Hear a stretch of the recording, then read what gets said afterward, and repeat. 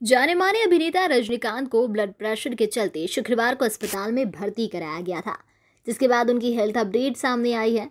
और बताया जा रहा है कि उनका ब्लड प्रेशर कंट्रोल करने के लिए उन्हें दवाएँ दी गई हैं। दरअसल उन्हें अपोलो हॉस्पिटल में एडमिट करवाया गया है, जहाँ उनका बीपी कंट्रोल किया जा रहा है। उनके ऊपर डॉक्टर की एक टीम नज़र रख रही है। दरअसल अभी उनका ब्लड प्रेशर कंट्रोल नहीं हुआ है, इसलिए उन्हें अभी डिस्चार्ज नहीं किया जाएगा। इसकी संभावना काफ़ी कम है। बता दें कि अब तक उनके स्वास्थ्य में सुधार नहीं देखा गया है और जब तक सुधार नहीं आता, तब तक डॉक्टर्स की टीम करीब से उनकी सेहत पर नज़र रखेगी। हालाँकि अभी तो वो स्वस्थ हैं, लेकिन उनका बीपी कंट्रोल करना बहुत ज़रूरी है।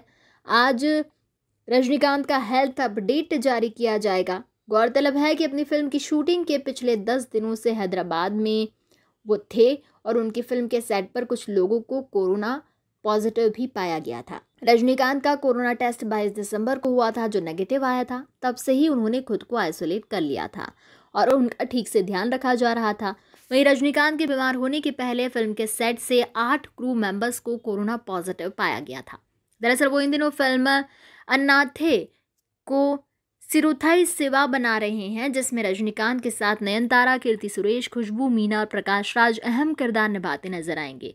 इसमें सन पिक्चर्स और डी ईमान द्वारा प्रोड्यूस किया जा रहा है। आप देख रहे हैं घमासान डॉट कॉम। और भी न्यूज़ अपडेट्स पाने के लिए सब्सक्राइब करें हमारा चैनल और नोटिफिकेशन पाने के लिए बेल आइकन को प्रेस करें।